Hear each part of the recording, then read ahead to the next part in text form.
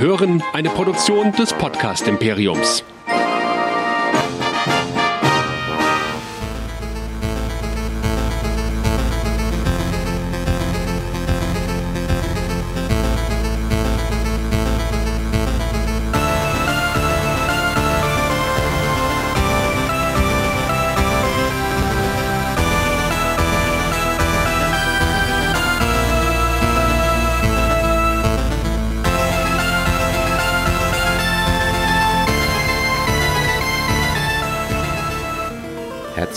Willkommen zu West Nerds, der Pilotausgabe der neuen Serien-Talkshow hier bei nerdizismus.de. Alle zwei Wochen werden wir über die zweite Staffel und wahrscheinlich auch alle weiteren Staffeln von Westworld reden. Einer Serie, die es uns Nerdizisten dann doch angetan hat. Wer sind die Nerdizisten für alle, die heute zum ersten Mal dabei sind? Mein Name ist Chris und mit mir dabei mein wandelndes Sekundärlexikon, der Michael. Hallo. Hallihallo. Ja, wie schon eingangs gesagt, alle zwei Wochen wird es hier über Westworld gehen. Auch das nochmal eingangs gesagt, wir werden die Folgen versuchen auseinanderzunehmen, auf Fantheorien einzugehen, unsere eigenen Theorien zu spinnen und, das sei an dieser Stelle mal ganz eindeutig gesagt, das ist ein Podcast für alle, denen Spoiler entweder egal sind oder die die Folgen dann entsprechend schon gesehen haben. Bevor wir aber jetzt einsteigen, wo kann man uns denn überall noch hören? Denn wir machen ja noch ein bisschen mehr als Westworld, Michael. Ja, und zwar wer uns noch so hören will, geht natürlich wie immer auf nerdizismus.de oder für alle, die uns noch nicht gehört haben. Nerdizismus.de ist die Anlaufadresse für alle unsere Serienfolgen, zum Beispiel zu Star Trek, The Walking Dead, Game of Thrones. Wir haben eine Reihe zu ähm, Cosplay, Nerdplay heißt die und allgemein Filme und Serien, alles auf nerdizismus.de. Da findet ihr auch einen großen roten Abonnieren-Button, auf den draufklickt, wo ihr dann unsere Feeds abonnieren könnt. Ihr findet uns auf diversen Social-Media-Portalen, äh, Facebook, Twitter, Instagram, Vero und so weiter und so fort. Und wer uns schreiben möchte und uns bewerten möchte, kann uns einerseits auf iTunes bewerten, denn da sind wir auch vertreten. Und schreiben könnt ihr uns immer an info at nerdizismus.de. Wunderbar, heute hast du in die E-Mail-Adresse gedacht. Natürlich. Jetzt werden wir mal ein bisschen über Westworld reden und dann haben wir uns ja durchaus eine Serie rausgesucht, die ähnlich wie Game of Thrones und unähnlich zu The Walking Dead ja ähm, extremst viele Fantheorien, ja, ich sag mal, hervorruft, geradezu provoziert. Und bevor wir jetzt in die Besprechung der ersten zwei Folgen der zweiten Staffel einsteigen, vielleicht für alle die, die auch jetzt wieder neu eingestiegen sind, Gib uns doch mal einen ganz kurzen Zusammenfassung der ersten Staffel. Da liegt jetzt auch schon das Problem, weil diese Serie ist ultra komplex. So richtig, richtig tief, vielleicht nicht äh, von den Philosophien her, was manche sagen, andere sagen dann wieder doch, aber es gibt viel, viel zu erzählen. Prämisse basiert grob auf dem Film von Michael Crichton aus den 70ern. Es waren die 70er, ne? Ja, ja die 70er. Ja. Ähm, und zwar geht es um einen Freizeitpark. Einen Freizeitpark, der nennt sich Westworld. Ganz reiche Leute, Leute, die ein bisschen Kohle haben, können da reingehen und sich wie im Wilden Westen fühlen. Und der Clou daran ist, die haben ganz viele Statisten, Darsteller, mit denen man alles machen kann. Warum kann man mit denen alles machen? Weil es Roboter sind. Äh, so wie Menschen sehen die aus und man kann die nicht unterscheiden von Menschen und letztendlich kann man dort seine tiefsten und dunkelsten und vielleicht abartigsten Fantasien erfüllen. Um Westworld einzuteilen in der ersten Staffel muss man vielleicht nach den Charakteren gehen, weil äh, wir haben eine ganze Menge Charaktere, denen wir auf verschiedenen Storylines folgen. Und zwar nicht nur auf verschiedenen Storylines, sondern auch auf verschiedenen Zeitebenen, wie sich im Laufe der Story herausstellt. Wichtigster Charakter oder einer der wichtigsten Charakter ist Dolores, die einer der sogenannten Hosts in Westworld ist, also eine der Roboter, die da unterwegs sind und die erstmal nicht wissen, dass sie in einem Freizeitpark sind. Denn, wie die Figuren in den Simpsons-Episoden, über den Freizeitpark, der eine Disneyland-Parodie sein soll, finden sie irgendwann, werden sie irgendwann rebellisch und lehnen sich auf, als sie herausfinden, dass sie nur Darsteller in einem Freizeitpark sind. Und das findet Dolores irgendwann heraus und findet heraus, dass sie schon mal herausgefunden hat, nämlich vor 35 Jahren und damit eine große Krise in dem Freizeitpark ausgelöst hat. Der wiederum von zwei großartigen Geistern entwickelt wurde, und zwar, also von Genies, von dem Arnold und von dem Robert Ford, wo wir erstmal nur den Robert Ford kennenlernen, der großartig gespielt von Anthony Hopkins äh, da ist. und der in der Gegenwart ein neues Update für die Roboter rausbringt, für die Hosts, das zu Problemen führt. Wir finden heraus, dass dieses Update irgendwann schon vor 35 Jahren durchgeführt wurde von dem einen der Mitgründer von Westworld, und zwar Arnold, der herausgefunden äh, hat, dass diese Hosts, die die erschaffen haben, Bewusstsein entwickeln können und dadurch sich kaum von Menschen unterscheiden. Deshalb wollte er diesen Park niemals der Öffentlichkeit präsentieren, hat äh, das so gedreht, dass Dolores ähm, alle Hosts in dem Park einmal in einem riesigen Massaker tötet und ihn auch tötet, um damit den Park in den Ruin zu treiben. Das hat nicht funktioniert, denn es gibt mal wieder ein paar schöne böse Investoren, die diesen Park übernehmen und mit denen Robert Ford dann alles neu aufbaut und in die Zukunft führt. Diese Investoren haben äh, repräsentiert durch ein paar andere Leute, ein paar vage Ziele. Erstmal geht es darum, dass sie Daten aus dem Park rausschleusen äh, wollen über die Hosts, was nicht funktioniert äh, und dadurch einige Leute auch sterben. Und ähm, das ist auch ganz grob die Story, denn Robert Ford erkennt am Ende, dass sein Kollege Arnold äh, recht hatte und dass der Park und die Hosts äh, wie Menschen sind, ihr eigenes Bewusstsein haben sollten und ihre eigene Freiheit haben sollten, führt zu der nächsten Revolution und als Cliffhanger der ersten Staffel ähm, werden alle über den Haufen geschossen, auch Robert Ford selber. Und am Ende bleiben nur noch die Hosts da, die von verschiedenen Leuten dargestellt sind. Und wenn ich jetzt die einzelnen Stories nochmal wiederholen würde, wie zum Beispiel von Bernard, wo sich herausstellt, dass Bernard ein perfektes Ebenbild von Arnold, dem ursprünglichen Gründer ist, den Robert Ford nochmal für sich neu gebaut hat, äh, weil er ein schlechtes Gewissen hat, dann wären wir hier, glaube ich, noch eine halbe Stunde beschäftigt. Und alle, die diese Sendung hören oder diese Show von uns hören, die wissen wahrscheinlich das meiste, was es auch gibt. Wir verlinken mal im Post zu diesem Podcast nochmal zu paar Recaps, wo man sich das in Ruhe anschauen kann. Und die sind selbst allein und effizient schon teilweise 15 bis 20 Minuten lang. Die Sache ist, Staffel 2 startet genau da, wo Staffel 1 aufgehört hat. Wir haben eine große Rebellion und schauen, was passiert denn überhaupt jetzt nach der Rebellion. Ja, es wird verdammt komplex. Deswegen würde ich vorschlagen, dass wenn wir jetzt über die neuen Folgen sprechen, dass wir bei den Zusammenfassungen immer versuchen, die jeweiligen Zeitlinien der jeweiligen Folge am Stück zusammenzufassen. Ja. Ich denke, das macht am meisten Sinn, denn sonst haben wir ein bisschen ein Kuddelmuddel auch im erklären. Wie läuft es bei uns ab, wenn wir einen Podcast über eine Serie machen? Eine Zusammenfassung habt ihr schon gehört. In Zukunft werdet ihr dann die jeweiligen Zusammenfassungen der zwei Folgen von mir bekommen und dann sprechen wir darüber und auch hier nochmal die ganz eindeutige Warnung. Hier wird gespoilert ohne Ende und vielleicht haben wir mit all unseren Theorien recht und ich habe meine eigene Theorie. Ich glaube, da greife ich ein bisschen vor, die haben sehr viel vorweggenommen und ich bin mir nicht sicher, ob das eine gute Idee war. Aber schauen wir mal. Also letztendlich eine Sache, bevor wir starten. Ähm, für mich gibt es im Vergleich zu Westworld eigentlich aktuell nichts im, in der TV-Landschaft, außer vielleicht Game of Thrones, was an dieser Produktion, an diese Produktionsqualität oder an diese Größe herankommt. Game of Thrones hatte den Vorteil, dass es auf einer großartigen Buchvorlage basiert. Und Westworld wurde allerdings von dem Bruder von Christopher Nolan und ich glaube seiner Frau geschaffen, nur basierend lose auf dem Konzept auf dem Buch äh, aus der aus von dem Film aus den 70ern. Und sie haben es trotzdem geschafft, da ein Werk, ein Gewerk hinzubekommen, was so unglaublich komplex, wie wir gerade schon gesagt haben, und so un unglaublich groß ist und mächtig ist, dass es wirklich seinesgleichen so, äh, sucht. Und ähm, egal, wer uns jetzt verwirrt zugehört hat oder nicht, schaut euch Westworld einfach mal an. Auch wenn man vielleicht erstmal denkt, what the fuck, was geht da ab? Und hä, was ist denn jetzt? Was passiert denn hier und was passiert denn da?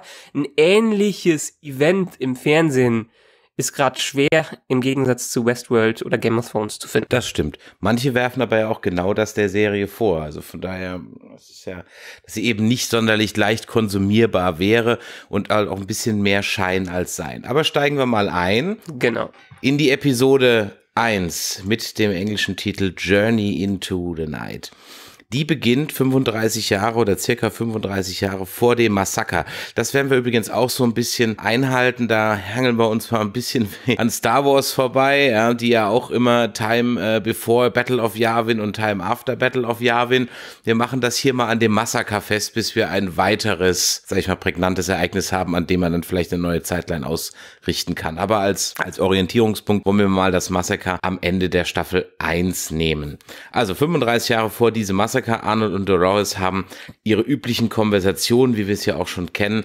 Und Arnold hat, und das ist richtig Foreshadowing, ja schon Angst, was Dolores einmal werden könnte und dass er nicht Teil davon sein kann. Er sagt ja an der einen Stelle, dass er dann, glaube ich, glaubt, dass sie am anderen Ufer ist und er ihn eben zurücklassen. Auch das, darauf wird später bestimmt auch nochmal Bezug genommen. Kurz nach dem Massaker also Zeitsprung 35 Jahre nach vorne. Maeve ist im Delos-Komplex und hat jetzt die volle Kontrolle über die Hosts und mit Hilfe von Lee, dem Story- oder narrativen Schreiber ähm, und Hector möchte sie ihre Tochter finden. Kleiner Fun Fact am Rande, es war dann ja ganz nett, dass sie dann den Lee sich einmal hat komplett ausziehen lassen. Ja. Im Gegensatz zu Dolores scheint äh, Maeve aber nicht auf äh, Rache aus, sondern sie sucht wirklich anscheinend wirklich eher ihre Tochter und auch unser Man in Black ist wieder zurück und wird von dem Kinderfort in das neue Spiel Find the Door instruiert.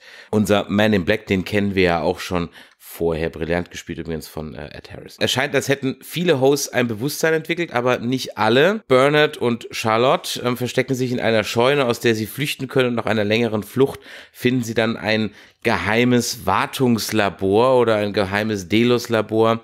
Und in diesem erfahren wir, dass es auch Drohnenhosts gibt, die die DNA von Gäste sammeln. Außerdem erfahren wir, zumindest habe ich es vergessen gehabt, falls das schon früher der Fall war, dass die Hosts alles, was im Park passiert, aufzeichnen. Bernard ist verletzt, der verliert irgendwie Wasser und äh, zittert an den Händen und erfüllt sich dann mit so einer Art, ja, wahrscheinlich dieses Gehirnwasser, wo dieser Massenspeicher äh, im Kopf dann drin ist, auf, um seine Wunde zu heilen. Ob das von Dauer sein wird, da kann man nochmal drüber streiten. Wir erfahren jetzt auch mehr über Delos, nämlich, dass die gar keine Rettungsaktion starten, bevor der Datenspeicher aus Peter Abernathy, der ja vorher schon mal rausgeschmuggelt werden sollte, jetzt endgültig aus dem Park gebracht ist und vorher wird also keine Rettungsaktion gestartet und Charlotte scheint direkte Befehle von jemand zu erhalten auf ihrer Konsole und äh, ja, das scheint wohl wirklich um den Peter Abernathy und seinen Datenspeicher zu gehen.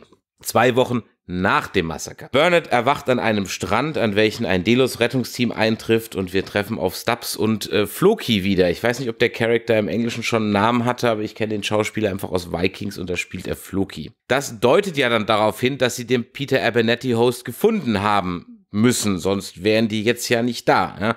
Und äh, Dolores konnte wohl die zwei Wochen dann aber auch nutzen, um freischalten zu walten, denn die Dolores zielt wild, äh, zieht wild marodierend da durch die Gegend. Wir lernen auch, dass Westworld wohl auf einer Insel liegt und wahrscheinlich irgendwo im Asiatischen. Und man merkt auch, wie mächtig Delos ist, denn sie können ja dem Soldaten, chinesischen Soldaten, mal einfach mal sagen, er soll sich hier verkrümmeln. Ford ist definitiv tot, also der war jetzt auch nicht irgendwie ein Host oder sonst irgendwas. Ähm, wir sehen ja dann auch die verweste Leiche und ähm, anscheinend vermischen sich die einzelnen Parks auch, denn Westworld ist ja nur ein Park, es scheint ja noch Shogun World, glaube ich, zu geben, war der Name von dem, von dem asiatischen Park. Weiß nicht, irgendwo war der mal eingeblendet. Es soll definitiv, also soweit ich äh, gehört habe oder in Erinnerung habe, äh, sechs verschiedene Parks geben. Okay. Wir lernen weiterhin, dass Dolores alle Hosts in einem Tal versammeln will, das Valley Beyond. Aber auch da ist sie ein bisschen picky, denn sie hat auch durchaus den einen oder anderen Haus selber erschossen, der es ihr anscheinend nicht wert war, ins Valley Beyond zu kommen.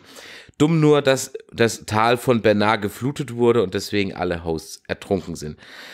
Dolores hat nun zwei Hosts in sich, nämlich den von Wyatt, den wir noch aus der ersten Staffel kennen oder von dem allerersten Massaker, also noch in der Urpark und immer noch das unschuldige Pharmamädchen und daraus scheint sich dann eine neue Person zu kreieren. Wir haben nicht nur Dolores mit zwei Hosts in sich, sondern sie wird auch noch begleitet von Teddy und Angela und die marodieren also munter durch den Park und wir erfahren außerdem, dass sich Dolores nun wirklich an alles erinnert. Auch das, was vor ihrer ersten Erinnerung passiert ist. Sie ist sich bewusst, dass sie nur überleben können, wenn sie die Welt da draußen, also jenseits des Parkes, erobern. Dann treffen sie ähm, ja auch auf nochmal auf Maeve und das scheint irgendwie so ein direkter Hinweis beziehungsweise dieses Raussein, äh, rauswollen aus dem Park könnte auf dieses eine ähm, Storyline-Narrativ hindeuten, nämlich Mainland Infiltration, mit dem Maeve ja mal versehen war. Und äh, vielleicht ist das ja ein Narrativ, das alle Hosts irgendwo in sich tragen, um aus dem Park raus zu wollen. Irgendwie so als, ja, äh, wenn du es baust, wird er kommen, sowas in der Art. Zusammen finden sie einen, den Eingang zum Hauptkomplex, zu diesem Mesa-Hub. Und wir lernen weiterhin, dass Dolores alle Hosts in diesem Tal versammeln will. Hatte ich ja gerade eben schon mal gesagt. Und dumm halt eben nur, dass das geflutet wurde. Und dann endet die Folge mit einem sichtlich erschütterten Bernard, der gesagt hat, dass er das Ganze war.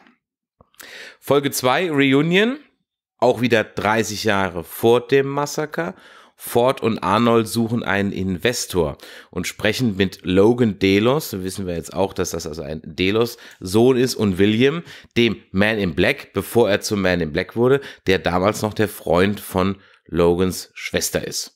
Zu diesem Test haben sie Dolores dabei, die ist aber wohl noch nicht ganz bereit, der Öffentlichkeit vorgeführt zu werden, deswegen machen sie den Investorentest ohne sie.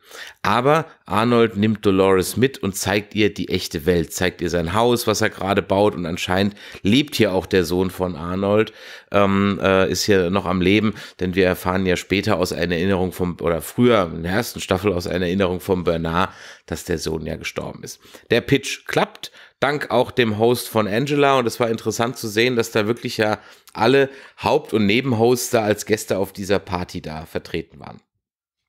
Das alles passiert, bevor Logan und William dann als Besucher in den Park reisen und Logan ganz begeistert ist und der William muss erst noch die Möglichkeiten erkennen, ja, was er mit dem Park machen kann und er muss sich dann noch in Dolores verlieben, aber langsam aber sicher ist er dann auf dem Weg zum Man in Black, nachdem etwas passiert ist, das er später als seinen größten Fehler bezeichnet. Wir sind dann noch auf der Retirement Party, auf der Pensionierungsparty von James Delos, dem Obermufti des Konzerns Delos, der wohl ernsthaft krank ist und jetzt dann wohl irgendwie von William beerbt wurde. Und auf der Party knallt sich dann interessanterweise Logan mit Drogen weg und feiert eigentlich so den Untergang der Menschheit mit den Zitaten, sie haben äh, gerade das Streichholz zu ihrem eigenen äh, Niedergang angezündet. Auch da schon richtiges Foreshadowing, nämlich auf das, was ich so ein bisschen vermute, dass alle Hosts da ausbrechen. Zwei Tage nach dem Massaker. Dolores und Angela und Teddy folgen einem freigelassenen Gast zu einer Wartungsstation und Teddy wird erstmal voll wiedererweckt. Und das scheint so ein Narrativ zu sein, das sich jetzt so ein bisschen durchzieht, nämlich dass Hosts praktisch erschossen werden oder getötet werden, um dann mit neuen Bewusstsein wiedererweckt zu werden. Dolores erfährt auch von einem Delos-Mitarbeiter, dass wenn die Situation in Delos in dem Park wieder unter Kontrolle gebracht werden soll, dass sie mit ungefähr 800 Gegnern zu rechnen hat, 800 Söldnern, also muss Dolores sich jetzt mal ganz schnell eine Armee besorgen. Diese Armee könnte sie in dem Teil der Confederados finden. Das ist ein marodierender, auch im Teil einer regulären Storyline des Parks, äh, marodierender, abtrünniger Südstaatensoldaten. Die werden von ihr alle erschossen, um dann wiedergeweckt zu werden. Und äh, auch der Man in Black ist wieder da und sucht nach Lawrence und findet ihn. Und der Befreiungsversuch äh, wird der Man in Black verwundet und kann sich mit einem Medipack heilen. Und hier sieht man mal ja auch, ähm, dass diese Technologie also nicht nur für Hosts anwendbar ist, Schusswunden oder überhaupt Wunden zu heilen, sondern auch bei Menschen funktioniert. In, Para, in Pariah ähm, trifft man dann auf El Lazo. Das war übrigens ja mal ein Charakter, den auch der Lawrence mal gespielt hat und seine Bande. Und äh, interessanterweise ja gespielt von Gus Fring, ne? Den kennen wir ja. Ja, genau, ja? von Giancarlo Esposito. Genau, Giancarlo Esposito oder eben besser bekannt als Gus Fring aus Breaking Bad und seine Bande. Und als der Man in Black sie rekrutieren will, schaltet sich Ford wieder auf, nämlich in den El und tötet alle, die potenzielle Helfer sein könnten. Aber nicht ohne vorher noch El Lazo eine Geschichte über einen Elefanten erzählen zu lassen. Und die könnte darauf hindeuten, dass äh, Ford alle Hosts freigelassen hat und jeder Host nun frei sein könnte und größtenteils sind es ja auch. Aber es gibt auch manche Hosts, die einfach nur stur ihrer Programmierung folgen. Also müssen der Man in Black und Lawrence alleine und Lawrence alleine weitergehen und zwar direkt zu Williams größten Fehler. Wir springen wieder zurück in die Vormassaker-Timeline. William zeigt Dolores seinen größten Fehler, auch wenn er es das damals noch nicht so betitelt. Und da so Dolores sich an alles hier erinnern kann, weiß sie nun, mit welcher Waffe sie Delos, die Menschheit, wen auch immer besiegen kann. Wir werden warten müssen bis Folge 3. Am Anfang erstmal generell die Frage, welcher Story oder welcher Erzählung können wir gerade überhaupt vertrauen? Das ist ganz schwierig herauszufinden. Ähm, Bernard vor allen Dingen äh, ist die Frage, wie viel Bernard sich klar ist darüber, was er gerade macht und was er gerade nicht gemacht hat. Er sagt ja sehr wenig oder gibt ja überhaupt kaum eine Reaktion in diesen zwei Wochen, was da passiert ist. Wurde sein Gedächtnis wieder gelöscht? Ist er dafür verantwortlich, was da alles passiert ist? Hat er dieses Tal geflutet? Wer hat dieses Tal geflutet? Ähm, ist das, was wir sehen, überhaupt genau die Zeit, wo die sagen, das wäre zwei Wochen danach. Vielleicht gibt's ja am Ende wieder einen Trick, der sagt, okay, wir sind jetzt doch vielleicht 35 Jahre wieder vorher oder 35 Jahre danach. Ähm, also bisher finde ich es ganz schwierig herauszufinden, auf welcher Zeitebene wir uns gerade bei mit Bernard vor allen Dingen so gerade befinden und ob wir allem vertrauen können, was er sieht oder was wir durch seine Augen sehen um echt zu sein, habe ich mir darüber eigentlich noch gar keine Gedanken gemacht. Also mein meine Hauptgedanken gingen eigentlich so jetzt in zwei Richtungen. Zum einen, warum hat Bernard diesen See geflutet? War es Bernard? Ja, sagt er ja. ja. Wer war, warum, hat, man hat ja auch gesehen, dass er die Hosts dahin schickt über dieses Mesh-Netzwerk. Mhm. Und er, er flutet das dann, bringt sie alle um. Warum? Wahrscheinlich, so meine Theorie, weil er jetzt alle auf einmal wieder erwecken kann und man dann nicht jeden einzelnen händisch killen muss. Mhm. Und dann auf einen Schlag seine neue Armee hätte. Ja, ist die Frage, darüber habe ich noch nicht nachgedacht. Dieses Wiedererwecken habe ich eigentlich nicht so als Wiedererwecken gesehen, dass man äh, erst getötet werden muss, sondern nur als Freischalten einer Funktion, dass ein Host gar nicht getötet werden kann. Weil letztendlich, ähm, wenn es ja diesen Regeln folgen würde, die wir gedacht haben, bisher aufgestellt sind, dann müsste erstmal ein Host repariert werden, bevor er wieder erweckt werden kann. Aber scheinbar sind die internen Funktionen oder die Organe, die die haben, ja überhaupt gar nicht wichtig und deshalb kann man die aus jedem Zustand wieder herauswecken. Also müsste man ja theoretisch nur eine Option da freischalten, Schalter umlegen, äh, dass sie durch nichts beeinträchtigt werden können. Natürlich ist das Wieder Wiederbeleben in dem Fall ein bisschen metaphorisch gemeint. Naja. Rein technisch ist es so wahrscheinlich so, wie du sagst. Ja. Aber das war eigentlich eher so das, was mich so, weil jeden Einzelnen umbringen, das dauert ein bisschen lange. Aber mhm. so hätten sie natürlich auf einen Schlag praktisch alle dabei. Ich meine, dass das mit dem Wiederbeleben auch, es ist ja mehr als nur metaphorisch, wenn man sich die Szene anschaut, wie die Confendadores äh, umgebracht werden also man hätte auch gleich drüber schreiben können, es grüßt sie mit freundlichen Grüßen das letzte Abendmahl von Da Vinci. Ja, also, ja stimmt, darüber habe ich auch nachgedacht. Es ist, äh, es war ja die, die ich habe mir da nochmal ein Standbild angeguckt, also es ist wirklich ja. eine 1, 1 zu 1 ja, ja. Äh, Ansprache da drauf. Und deswegen passt das ja, das Ganze. Und die Frage ist halt eben, machen Dolores und Bernard gemeinsame Sache? Und wenn ich mir dann die Ansprache aus dem ersten, aus der ersten Folge ganz am Anfang ähm, also jetzt aus der ersten Folge der zweiten Staffel nochmal ins Gedächtnis rufe, wo er ihr sinngemäß sagt, naja, und es wird irgendwann der Punkt kommen, da gehst du wohin, wo ich dir nicht folgen kann oder folgen mhm. werde. Deswegen ist auch die andere Frage, wo steht denn Bernard auf welcher Seite? Ist er auf der Menschenseite und sagt deswegen, da wo du hingehst, kann ich dir nicht folgen? Das hätte natürlich Arnold nicht wissen können, ja, oder hat es halt vorausgesehen. Oder hat er zu dem Zeitpunkt schon vorausgesehen, dass praktisch Dolores das Ende der Menschheit ist? Oder? Ja, ich meine, äh, er hat's ja, ich weiß nicht, ob Arnold das so hingedreht hätte äh, oder hindrehen wollte, dass so wie Robert jetzt offensichtlich sein Plan ist, dass die Hosts äh, die Menschheit übernehmen. Das glaube ich nämlich nicht. Ich glaube, Arnold äh, hat erstmal gesehen, dass die Hosts keine Chance gegenüber der Menschheit oder irgendwelchen Organisationen hätten und deshalb einen riesen Massaker angeordnet äh, hat, damit in der ersten Staffel oder 35 Jahre vorher alle tot sind, damit die Technologie nicht ausgenutzt werden kann. Und Robert Ford hat ja scheinbar 35 Jahre gebraucht, um das Ganze wieder aufzubauen und denen genug Zeit zu geben, damit die einen freien Willen haben können. Also ich weiß nicht, ob der Original Arnold das vorhatte, so eine Rebellion dann am Ende zu starten oder denen nicht einfach nur hätte die Freiheit geben wollen. ich meine, wenn man jetzt mal, bleiben wir mal bei diesem Freiheitsgedanken, das lässt ja eigentlich den Ford jetzt im Nachhinein in einem ganz anderen Licht erscheinen. Das heißt, Ja, er ist ja gar nicht mehr so der, er war ja auch nicht der wirklich der Bösewicht der ersten Staffel, ja. Aber natürlich, ich sag mal, so ein zwielichtiger Charakter. Und jetzt könnte man ja so argumentieren, dass Ford halt die ganze Zeit dagegen angekämpft hat. Da zahlt ja auch seine Abschlussrede am Ende der ersten Staffel wieder ein, die, wenn es so ausgeht, wie ich glaube, irgendwie ein bisschen viel zu viel preisgegeben hat. Oder diese zwei Folgen zu viel verraten in Kombination mit dieser Folge. Ja, also ich habe mir, wie gesagt, anstatt die erste Staffel an, äh, nochmal anzusehen, habe ich mir viele Reviews und Recaps durchgeschaut.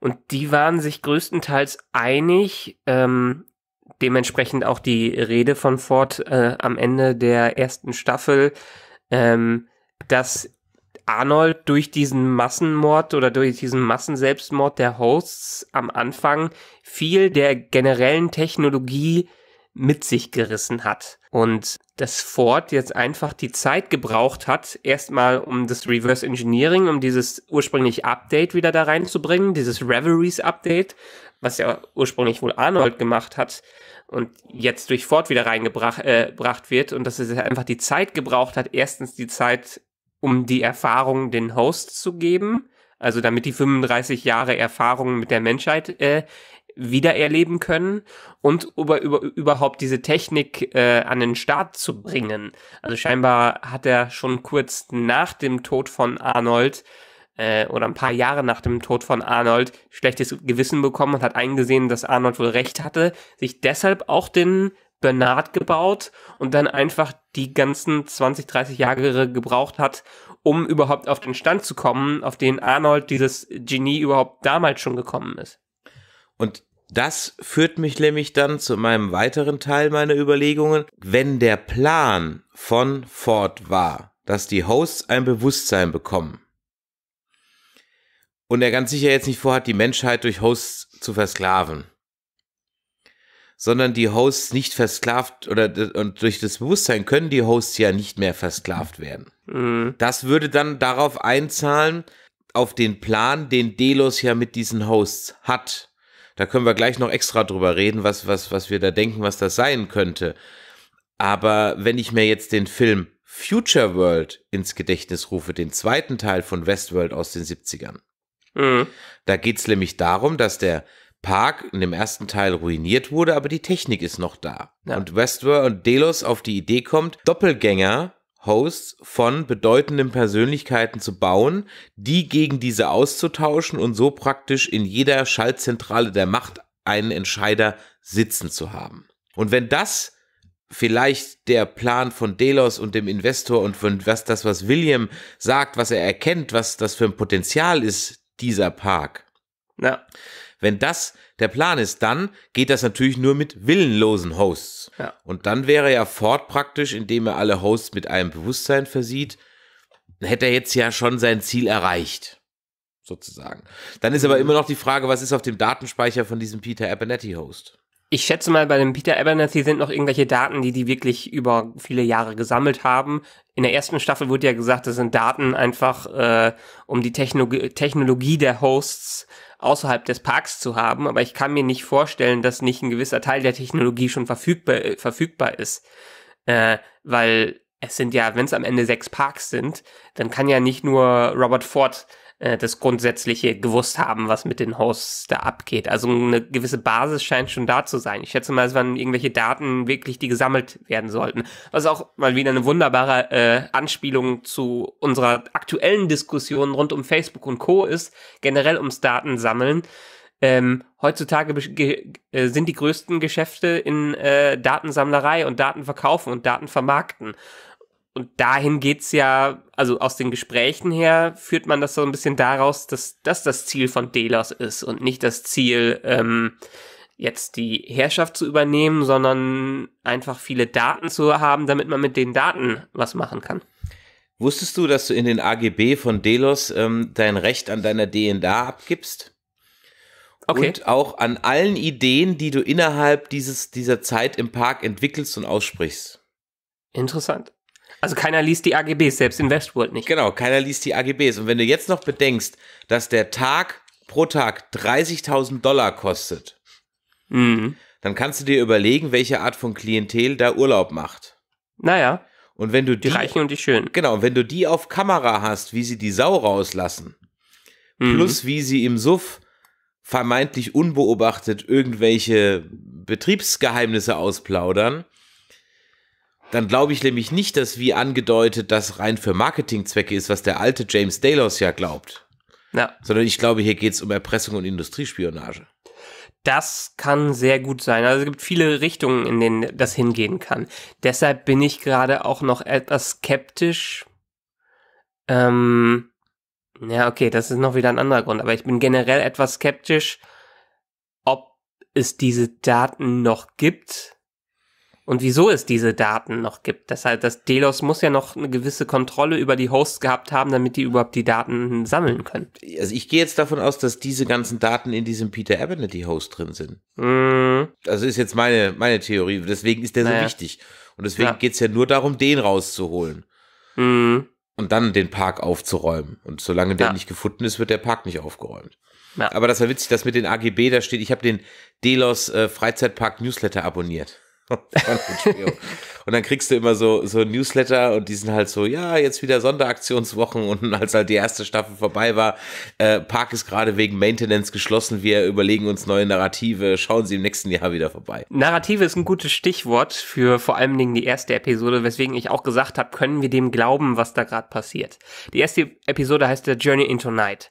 Das das neue Narrativ von Ford war, was Richtig. er am Ende der ersten, oder was er die ganze erste Staffel über geschrieben hat und entwickelt hat. Ähm, und da kommt auch wieder dieser Freiheitsgedanke rein, denn sind die Hosts jetzt frei oder gibt es überhaupt einen Host aktuell, außer vielleicht Dolores, der überhaupt einen freien Willen entwickelt hat und entwickeln konnte? Und selbst bei Dolores bin ich mir da äh, nicht sicher. Bei Maeve wissen wir es ja schon, dass sie äh, dann doch eher dem Narrativ gefolgt ist, bis sie aus dem Zug ausgestiegen ist am Ende der Staffel. Aber vielleicht ist das ja auch nur wieder in einer Untersektion und Untersektion der Programmierung auch wieder äh, äh, wieder eine Story, äh, äh, die der sie folgt. Und letztendlich ist jetzt vielleicht entweder Maeve der einzige Host, der überhaupt frei ist, oder ist Dolores der einzige Host, der frei ist, oder ist keiner von den Hosts frei, weil bisher alles noch Robert Ford geschrieben hat und äh, die quasi nur der Story von Robert folgen. So habe ich es jetzt noch gar nicht gesehen. Also ich, also es gibt, nicht alle Hosts sind, glaube ich, frei. Ja. Sieht man an diesem Stallburschen, der weiterhin brav seinem Stallburschen äh, Na- Narrativ folgt. Oder auch hier an Simon, ja, der einfach nur äh, Ja. der, der Gangster bleibt. Und auch die Konferadores sind ja erstmal nur das. Aber auf der anderen Seite, klar, wenn sich der Geist von Ford ja jetzt auf jeden Host aufschalten kann, Ja. dann ist, kann das natürlich auch, ich meine, das, das spricht natürlich für eine andere Geschichte, wenn man mal überlegt, was jetzt dieser größte Fehler ist. Also ist jetzt der größte Fehler diese Datensammlung, die Erpressung oder vielleicht, weil man halt doch hat Gott spielen wollen und vielleicht die einen Weg gefunden haben, den menschlichen Geist in so einen Host zu transferieren am Ende des Tages. Mhm. Mhm. Jetzt ist hier die, Also auf die Frage, wie viel, wie viel Arnold steckt in Bernard? Genau. Da- Das ist auch schon wieder so eine Theorie, die man sagen könnte, dass vielleicht sogar aus irgendeiner aus irgendeinem Grund wirklich das Bewusstsein von, Ber äh, von Arnold in Bernard jetzt erwacht und deshalb auch Robert Ford die Möglichkeit hatte, sein Bewusstsein in den Park reinzuschreiben und entsprechend gar nicht gestorben ist. Und vielleicht kriegen wir ja noch einen Überraschungsauftritt nochmal von Anthony Hopkins. Alles, was die bisher hatten, kam einem ja so wie recyceltes Zeug vor. Ich weiß nicht, ob er da Dialog wieder eingesprochen hat. Er hat Dialog eingesprochen. Doch, er hat, Er hat Dialog eingesprochen. Dialog frisch okay. eingesprochen, ja. Aber die Ah, ja. Figur im, Hund, im Hintergrund war er natürlich nicht. Ne? Ja, das war nur diese ver verjüngte Version. Genau, wieder das war die neue damals. verübte CGI-Version. Ja. Ja, deshalb könnte es natürlich auch sein, dass es immer noch jetzt Bernard äh, Arnold ist, der so langsam immer weiter aufwacht in ihm und am Ende der Einzige ist, der einzige Host, der einen freien Willen hat, weil er auf dem Menschen basiert. Ja. Glaubst du denn, dass es, glaubst du denn, dass, dass das Showdown, das Aufeinandertreffen von Man in Black, Dolores und Bernard bei was auch immer die Waffe oder der größte Fehler ist? Oder glaubst du, dass das eher so ein Mid-Season hoch ist und danach kommt noch was ganz anderes? Äh, ist echt schwer zu sagen. Die haben wieder zehn Folgen in dieser Staffel, ne? Ich glaube ja. Ich meine, das letztendliche, die letztendliche Enthüllung aller Theorien gab es ja auch erst in der letzten Folge, in der letzten Staffel. Wir haben immer nur mal ein paar Brotkrumen bekommen.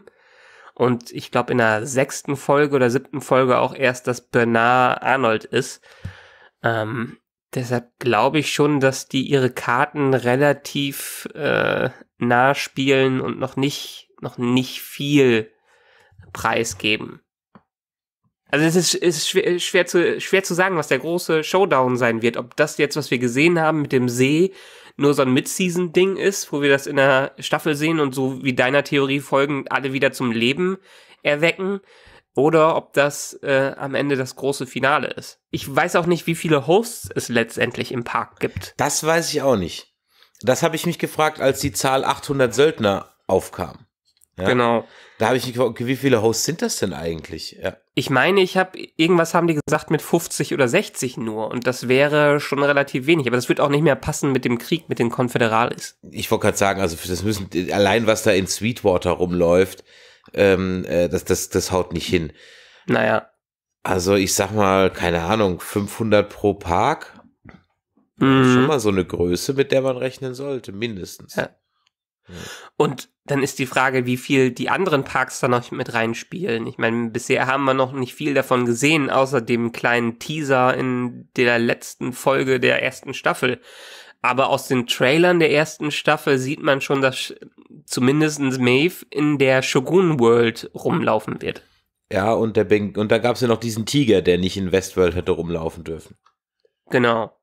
Was so ein Lost-Moment war.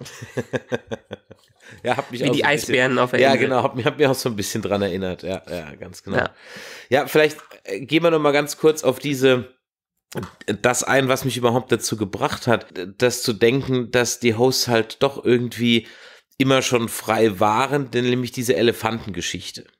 Mhm. Wenn du die jetzt auf die Hosts überträgst, dann hieße das ja, dass wenn die praktisch am Anfang einprogrammiert kriegen, du brauchst hier gar nicht aufmucken, es funktioniert sowieso nicht, Mhm. dann tun sie es halt auch nicht. Auch wenn sie ja jedem Physik physisch und auch äh, intellektuell überlegen, überlegen wären. Also ist ja, die sind ja praktisch alles kleine Datas. Ja. Ja. Zumindest sind sie dazu in, theoretisch dazu in der Lage. Mhm. Deswegen diese Elefantengeschichte in Verbindung damit, dass jetzt der Ford sich überall aufschalten schalten kann, plus seine Abschiedsrede, irgendwie, also so, also entweder haben die wirklich noch was ganz anderes im Petto oder es war für meinen Geschmack ein bisschen zu viel Giveaway. Aber auf der anderen Seite, so doof stellen die sich da nicht an, also im Sinne von so offensichtlich. Naja gut, es war ja auch in der ersten, ersten Staffel so, dass viele der Hinweise, die zu Lösungen geführt haben, ja wirklich in den ersten Folgen schon gestreut worden sind. Ähm, das hat ja auch äh, den Witz der Serie so ein bisschen ausgemacht, dass die Fans äh, dank des Internets quasi die ganze Serie schon mal am Anfang der Staffel durchtheoretisiert und äh, auch gelöst haben, was da am Ende passiert wie, äh, pa äh, passieren soll. Dass, dass der Man in Black äh, William ist, das ist ja schon sehr früh in der letzten Staffel rausgefunden worden von den Fans, sogar in der ersten, äh, in der zweiten Folge schon, wo der erste Mal aufgetreten ist. Was war da der Hinweis? Also ich glaube, ich bin so Äh, äh, Weiß-Schwarz, wegen den Hüten oder was? wegen den Hüten, genau. Aber er hat doch Da- am Anfang einen eine- weißen Hut. Genau. Und dann entwickelt er sich zum, dann ist halt das Gegenstück von ihm der schwarze Hut. Aber warum sollte das der sein, wenn es nicht entweder Antagonisten oder die gleichen Typen sind? Okay, also ich bin irgendwann dritte, vierte Folge draufgekommen, noch so ganz vor, äh, noch ein, zwei Folgen vor, bevor es dann offensichtlich war. So irgendwann dachte ich mir, das muss eigentlich der gleiche sein. Aber jetzt ist ja der schwarze Hut ja auch wieder gut. Also er ist ja jetzt an, die, die Rollen haben sich ja ein bisschen getauscht. Dolores ist jetzt eigentlich, also wird uns so ein bisschen als die Böse präsentiert, zumindest wenn man auf Team Human steht, ja.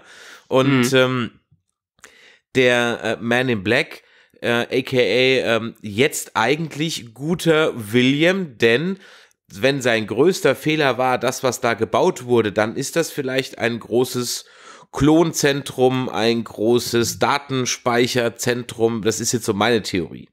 Hm. Ja. Auf der anderen Seite habe ich mich gefragt, was sollte man mit so großen Maschinen denn errichten? Also, was soll denn da sein? Also es könnte, also es wurde ja als Waffe bezeichnet.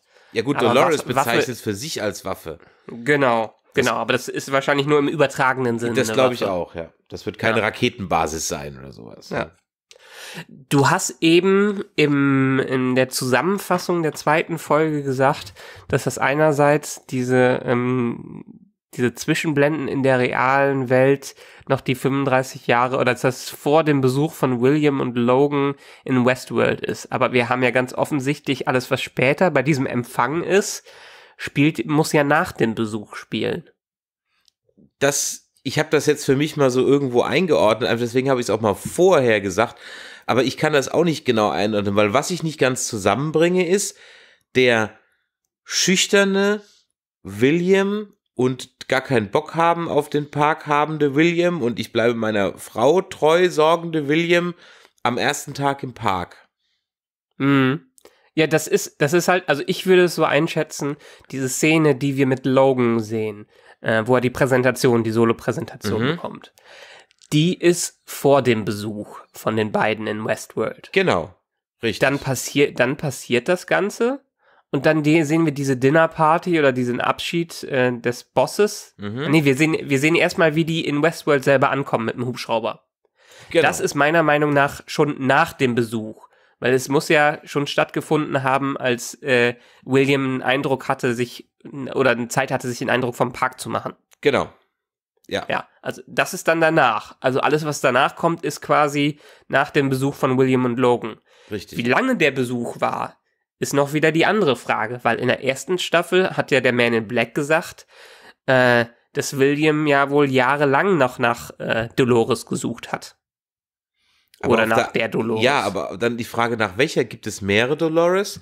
Weil es Mhm. gibt ja auch eine Dolores, die auf der Party rumhängt, auf der, auf der Abschieds-, auf der Retirement-Party.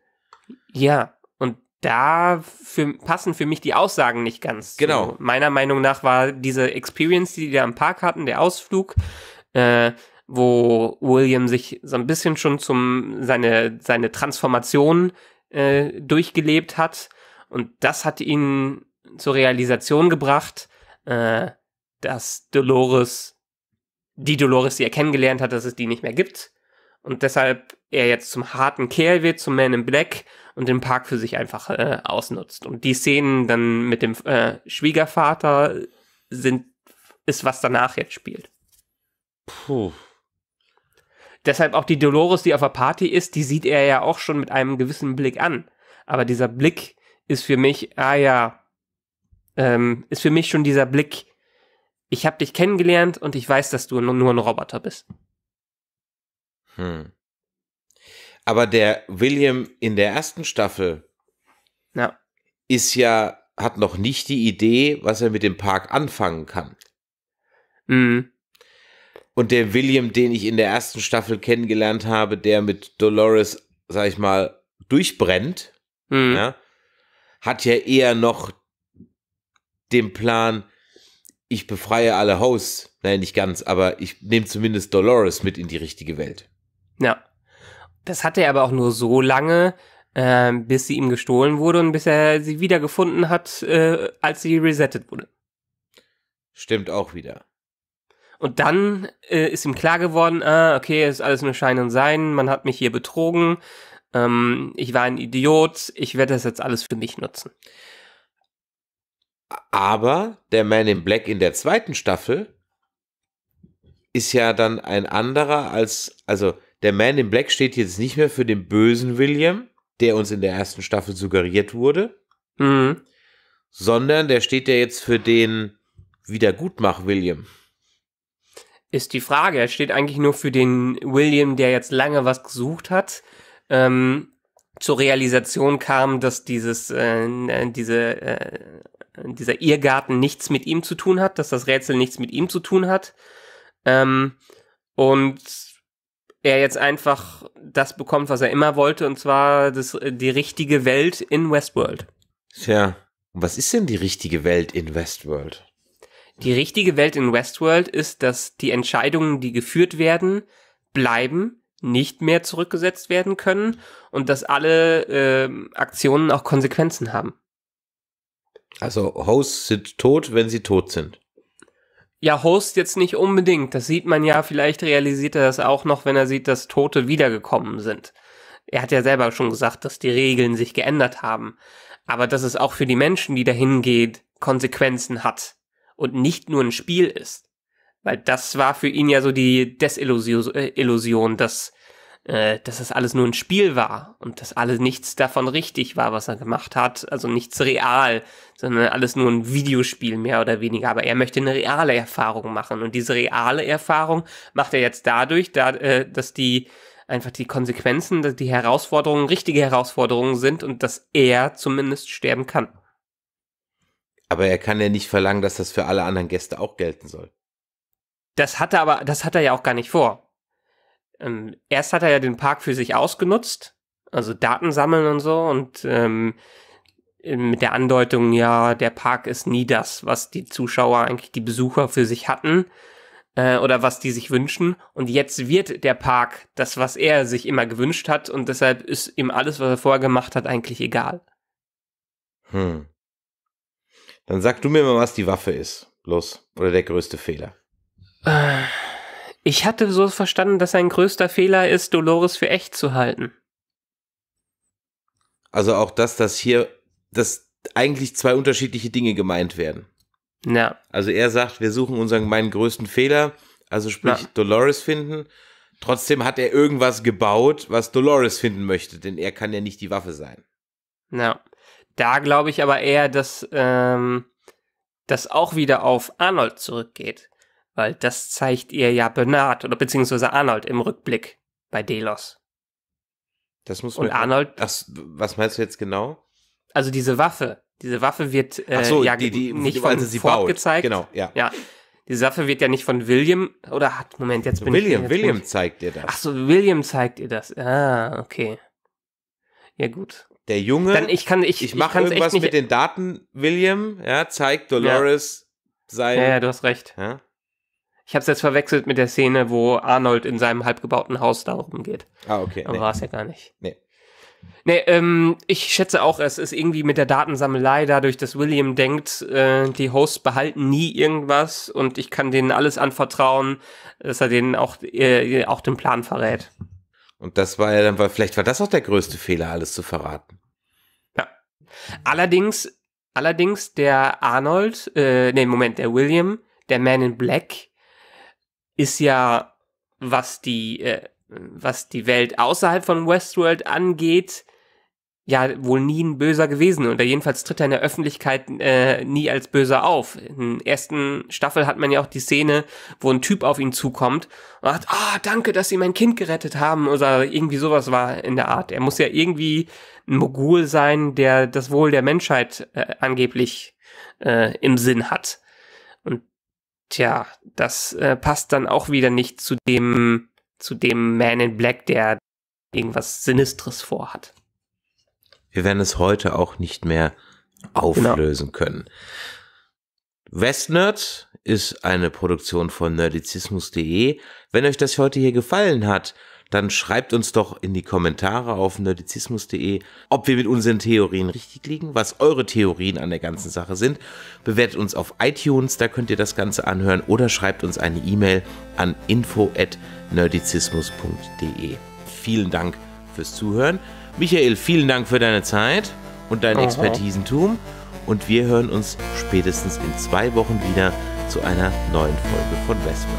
Bis dann. Ciao. Tschö.